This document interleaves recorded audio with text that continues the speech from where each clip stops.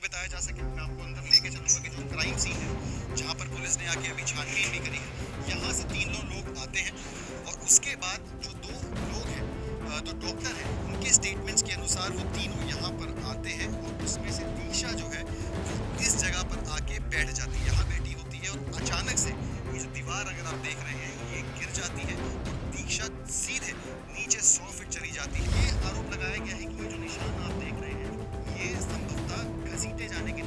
ये crime scene जो आप देख रहे हैं, ये एमबीबीएस डॉक्टर दीक्षा तिवारी की वही आखिरी लोकेशन है जिस पर सवाल खड़े हो रहे हैं।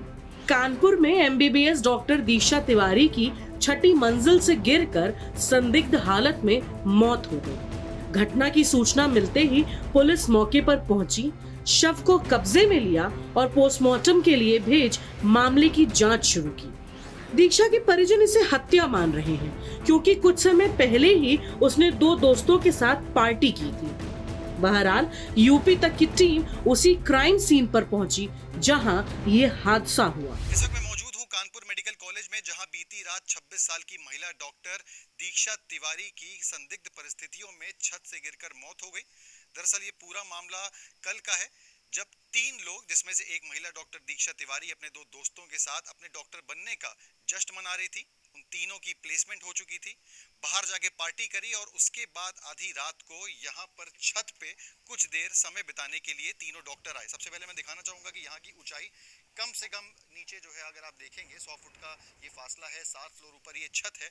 यहाँ पर सिर्फ़ इसलिए आया जाता है कि शांति में कुछ समय बिताया जा सके। मैं आपको अंदर लेके चलूँगा कि जो क्राइम सीन है, जहाँ पर पुलिस ने आके अभी छानबीन भी करी है। यहाँ से तीन लोग लोग आते हैं और उसके बाद जो दो लोग हैं जो डॉक्टर हैं, उनके स्टेटमेंट्स के अनुसार वो तीनों यहाँ पर आते हैं और उसमें से दीक्षा जो है, वो इस जगह पर आके बैठ जाती है। वहीं दोनों खड़े होकर यहाँ बातें कर रहे होते हैं। दीक्षा यहाँ बैठी होती है और अचानक से ये जो दीवार अगर आप देख रहे हैं, ये गिर जाती है और दीक्षा सीधे नीचे सौ फीट चली जाती है, जहाँ से उसकी लाश को रिकवर किया गया। मैं अपने कैमरा पर्सन से कहूँगा रिक्वेस्ट करूँगा कि आपको दिखाएँ कि कितनी यहाँ से हाइट है, नीचे तक की। दोनों डॉक्टर्स का कहना है क्योंकि ये दीवार कच्ची थी, सरिया नहीं था, इसलिए अचानक से दीवार टूट गई और दीक्षा नीचे चली गई। वहीं जो परिजन हैं, उन्होंने आरोप लगाया है कि ये महज एक हादसा नहीं है, इसके पीछे कुछ ना कुछ जो है वो साजिश है।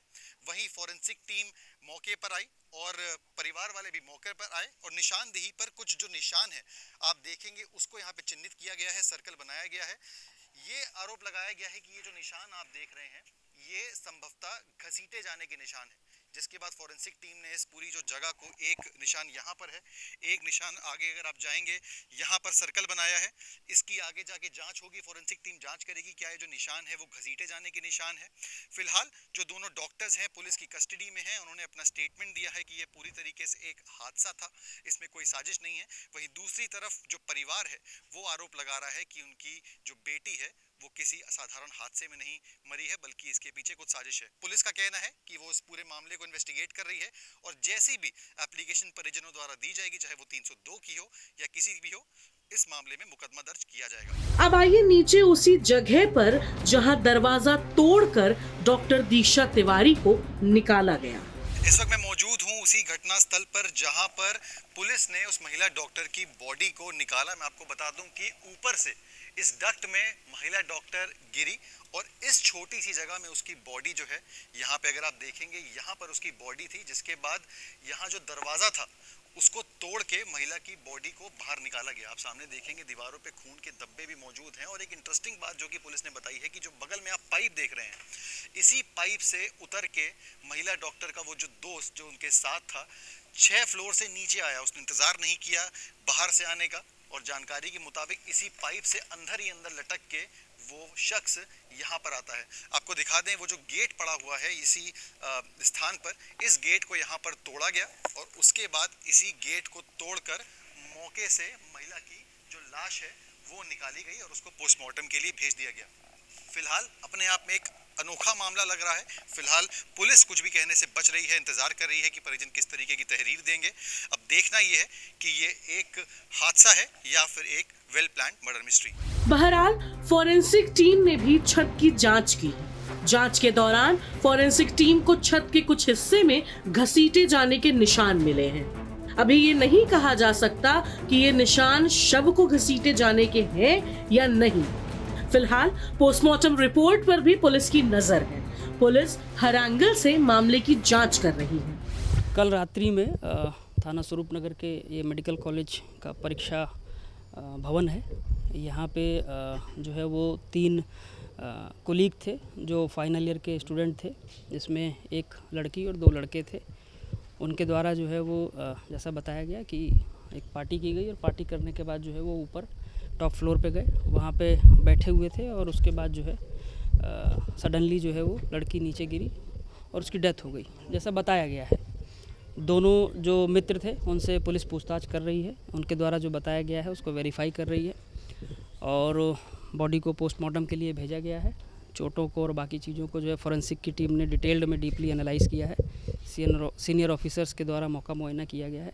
परिजन आए हैं परिजनों से भी वार्ता की जा रही है। परिजन यदि कोई तहरीर देते हैं तो उसके आधार पर जो है वो आवश्यक विधिक कार्रवाई की जाएगी। साथ ही साथ पोस्टमार्टम रिपोर्ट आने के बाद इसमें विस्तृत जो कार्रवाई होती है होगी। अभी क्या पता चला कि, कि पार्टी में कितने लोग थे और कौन कौन लोग थे जो प्रारंभिक पूछताछ में जानकारी हुई है कि ये तीन मित्र हैं। परिजन भी इसको जो है एक्सेप्ट कर रहे हैं कि जो तीनों हैं ये अच्छे फ्रेंड थे घर भी आना जाना था। और उसके बाद जो है ये चूँकि इनका परीक्षा समाप्त हो गया था, अब इंटर्नशिप होनी थी, उसके पहले जो है ये आपस में जो है वो मिले हैं और उसके बाद जो है कल रात्रि में ये घटनाक्रम हुआ है। पूरे घटनाक्रम की जो है डिटेल में जाँच की जा रही है और पोस्टमार्टम रिपोर्ट आने के बाद इसमें अग्रिम विधिक कार्रवाई की जाएगी। कानपुर से सिमर चावला की रिपोर्ट, यूपी तक।